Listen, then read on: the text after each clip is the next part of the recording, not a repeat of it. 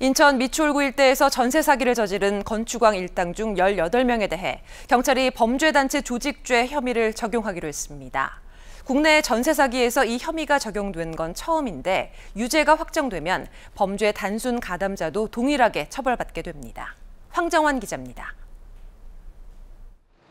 인천 미추홀구 대규모 전세 사기 혐의로 재판을 받고 있는 건축왕 62살 남모 씨와 일당 9명.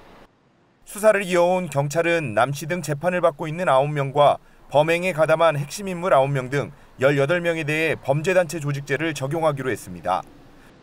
국내 전세 사기에서 이 혐의가 적용된 건 이번이 처음입니다.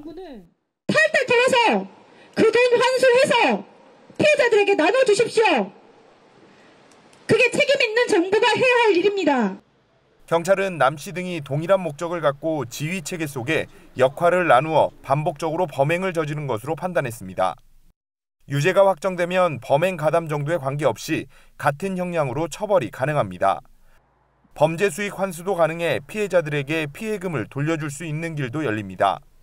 범죄 단체 조직죄는 사형, 무기 또는 4년 이상의 유기징역에 해당하는 범죄를 목적으로 단체를 조직했을 때 적용되는 범죄 유형으로 경찰은 남씨 등 재판이 진행 중인 10명을 포함해 일당 51명을 사기 등의 혐의로 내일 검찰에 추가로 송치할 예정입니다.